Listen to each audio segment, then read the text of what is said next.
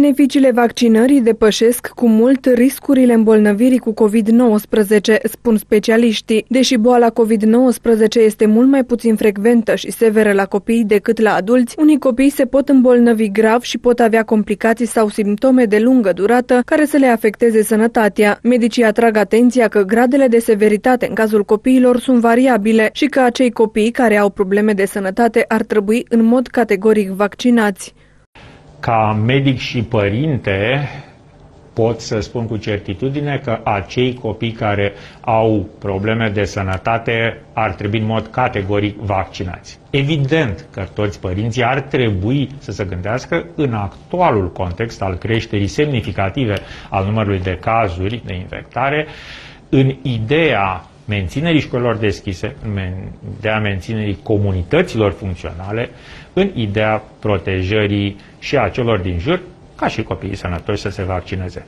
Ce vreau să spun cu asta? Beneficiul vaccinării copiilor între 5 și 11 ani este în primul rând al copiilor. Nu spunem că trebuie să vaccineze copiii ca să nu se îmbolnăvească bunicii lor fragili sau alte persoane din anturajul acestora. Și asta e și aceasta este important, dar părinții trebuie să înțeleagă că nu sunt în primul rând copiii vaccinați pentru alții, ci pentru ei.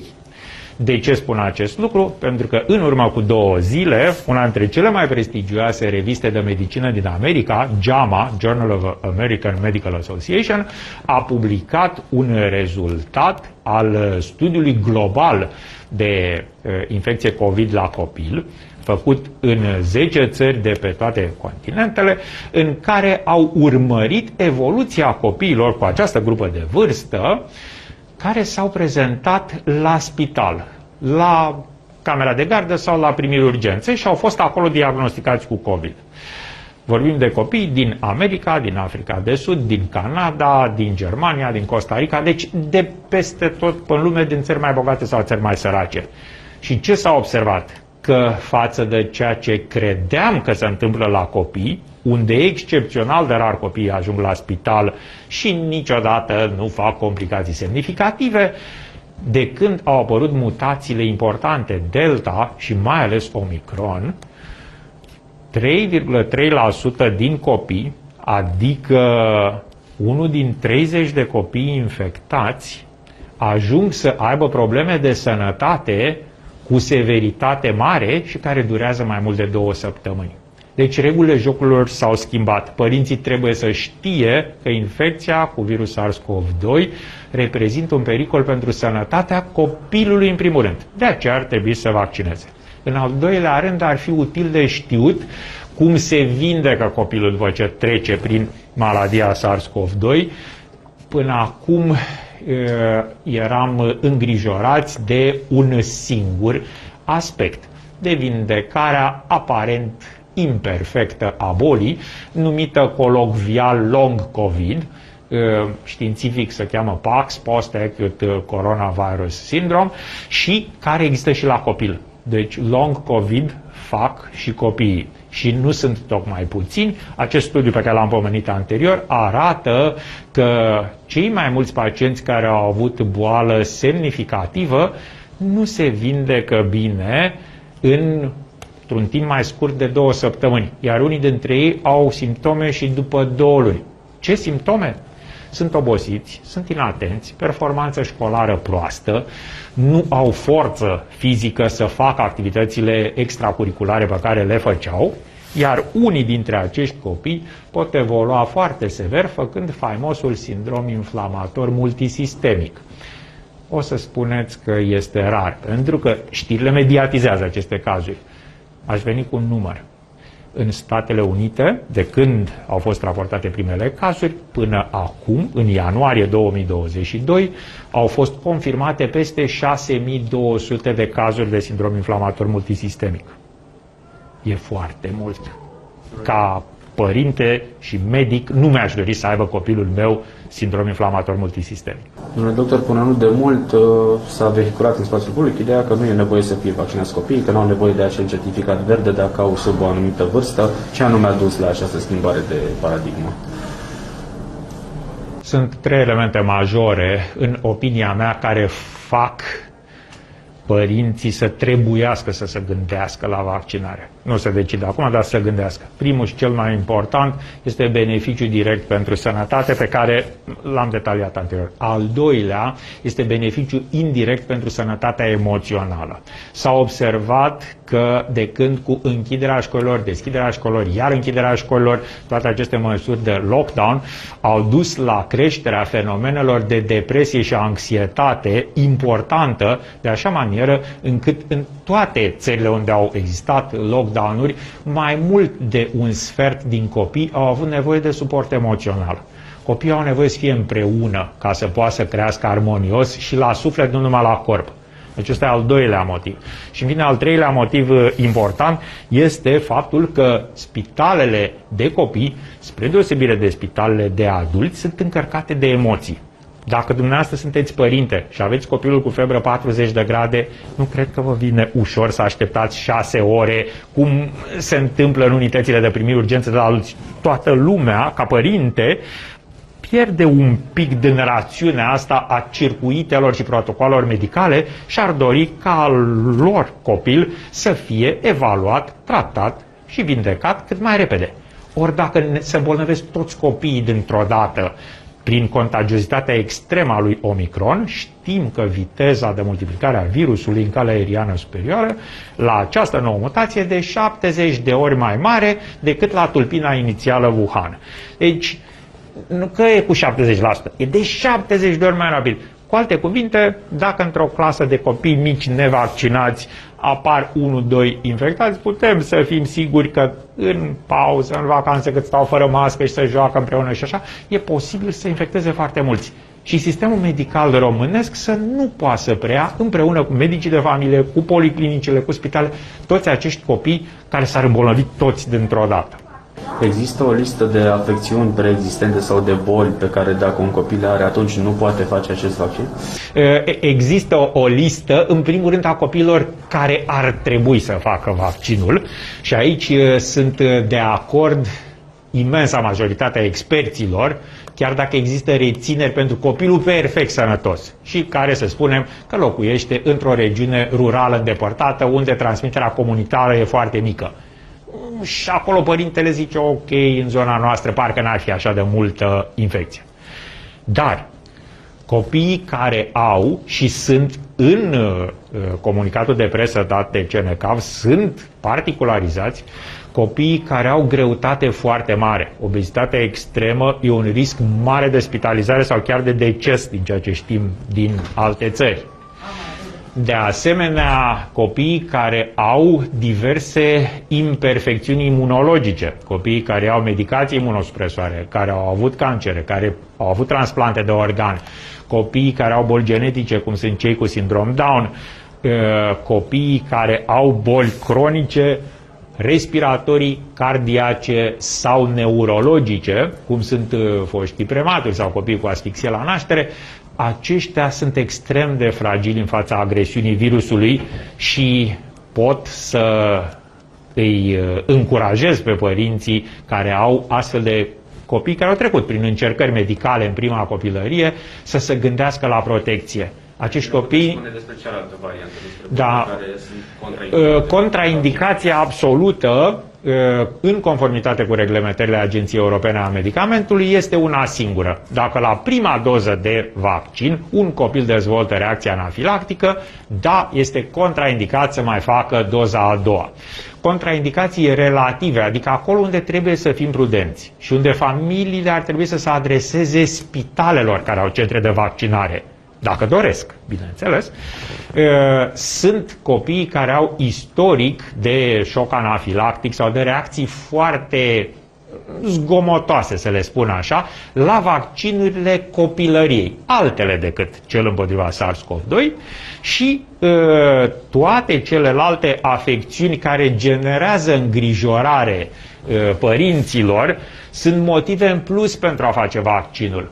Adică, dacă ai un istoric de boală neurologică sau epilepsie, cum este una din întrebările chestionarului, este recomandat de Societatea Europeană de Neurologie Pediatrică ca acești copii să fie vaccinați, pentru că ei vor duce foarte greu boala. și mulți dintre ei fac complicații.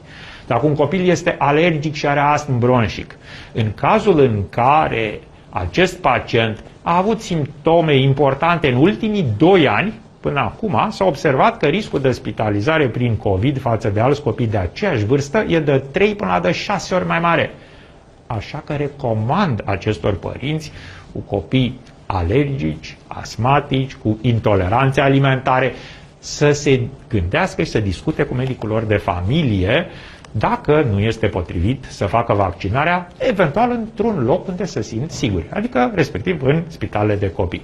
Și în fine, ultimul lucru care trebuie spus este că acei copii care au deja e, boli serioase cardiace sau renale, adică copiii care fac dializă sau copiii care au fost operați pe inimă, aceștia trebuiesc protejați prin vaccinare, deoarece stresul cardiovascular al bolii nu poate fi dus cu ușurință de către uh, un rinic instabil sau un cord deficient. Asta știm deja cu dovezi zdrobitoare din patologia adolescentului și adultului, unde s-a observat că cea mai mare mortalitate e exact la aceste grupe de vârstă, la adulții dializați, la adulții cu diabet, la adulții cu bol de inimă.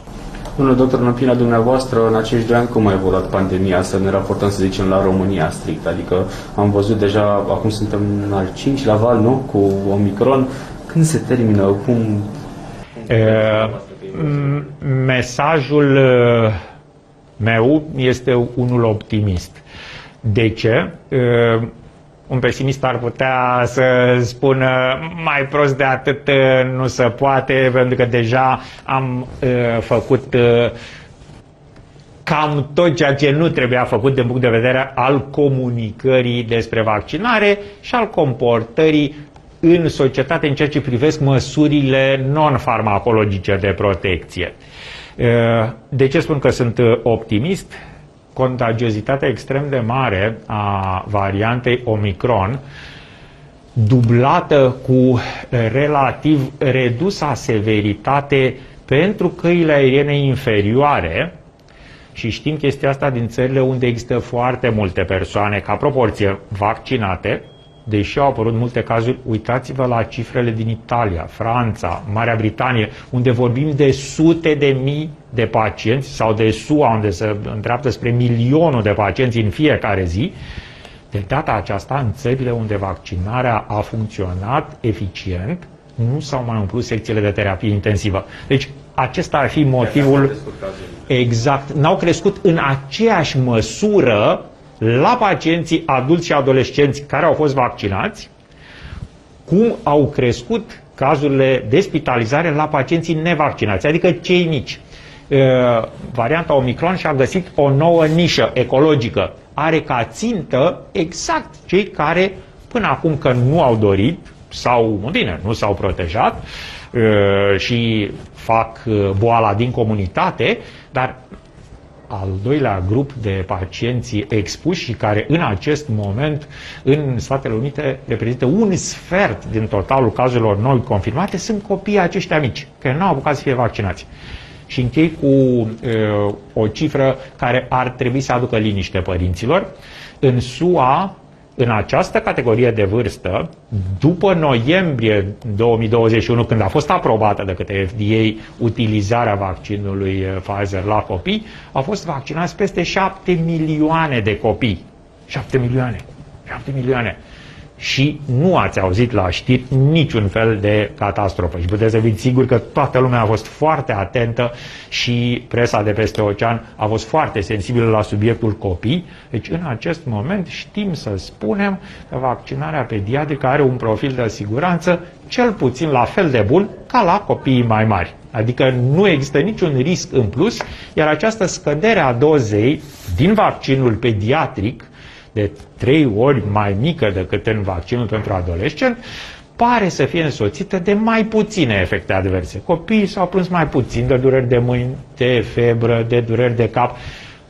Cei mai mulți copii mici nici nu au lipsit de la școală în ziua următoare vaccinării.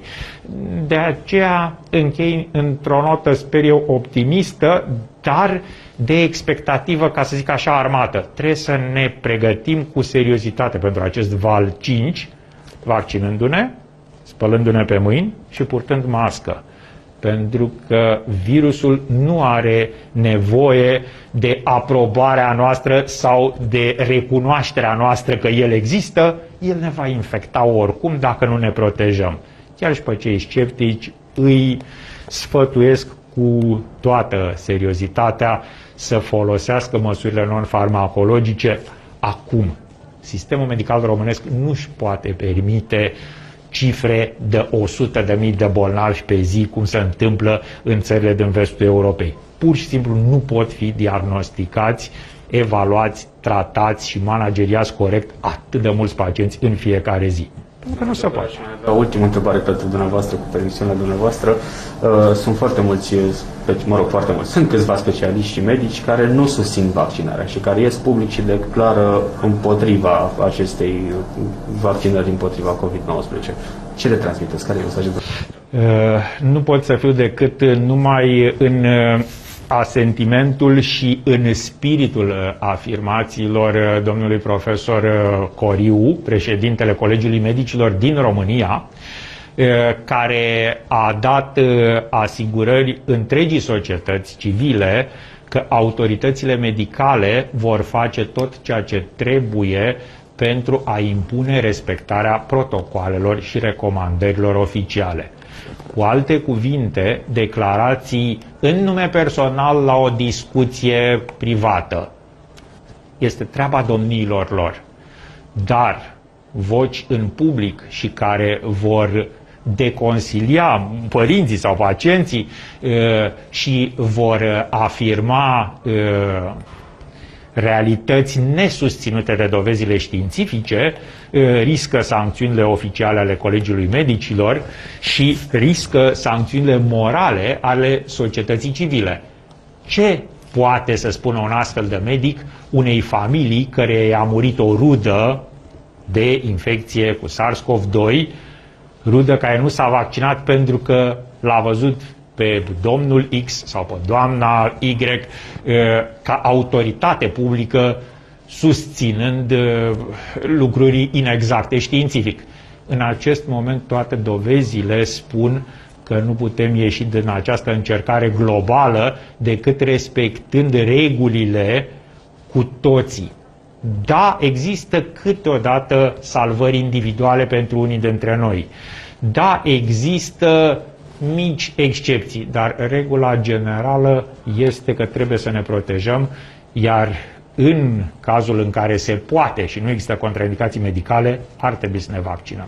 Medicii prezintă și care sunt pașii de urmat pentru vaccinarea copiilor cu vârste cuprinse între 5 și 11 ani.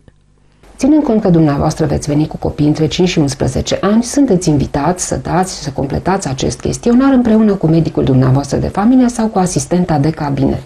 Sunt câteva întrebări simple pe care le puteți parcurge. Personalul medical vă va fi alături și vă va sprijini pentru completarea corectă a acestui chestionar, pentru a câștiga timp și, sigur, pentru a ușura înțelegerea acestui proces.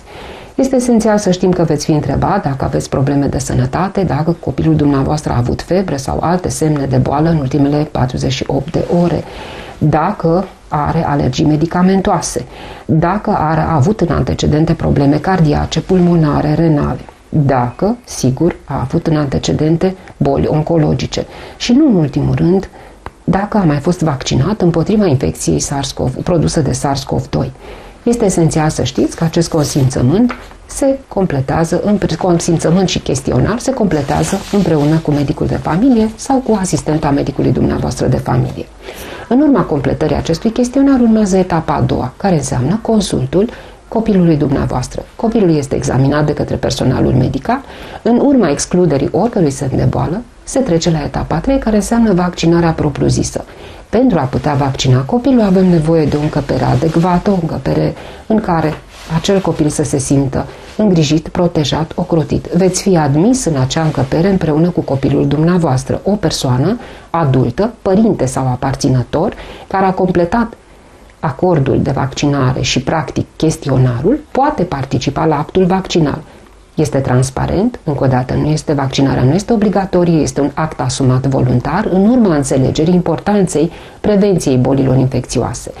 Împreună cu personalul medical veți rămâne în acea cameră, se vor efectua pași pe care îi facem la orice altă vaccinare. Vaccinarea împotriva SARS-CoV-2 nu e cu nimic deosebită sau cu nimic diferită de orice altă vaccinare care se adresează copiilor sau adulților. Copilul a fost examinat, sănătos fiind, se începe procesul de vaccinare. Se utilizează produse de unică utilizare, vaccinul este depozitat la 2 grade Celsius în frigidere special destinate pe care fiecare cabinet le are în dotare. Personalul medical este instruit, echipat corespunzător, să respectă fiecare regulă de asepsie, astfel încât copilul dumneavoastră să fie în deplină siguranță. Este exact aceeași procedură ca orice alt vaccin, care se poate efectua la un copil, începând cu 2 kg și jumătate, începând cu BCG-ul de la maternitate, cu vaccinul adresat împotriva hepatitei B și toate celelalte vaccinuri care se efectuează în Programul Național de Imunizare. Ultima etapă a parcursului nostru vaccinal înseamnă că veți rămâne împreună cu medicul de familie, cu personalul medical din subordinea medicului de familie, încă 15 minute pentru a fi supravegheat. Vaccinarea copiilor se poate realiza și fără programare, prin prezentare directă în cabinetele centrelor de vaccinare dedicate copiilor sau în cabinetele medicilor de familie care au solicitat doze pediatrice pe tot parcursul programului de lucru.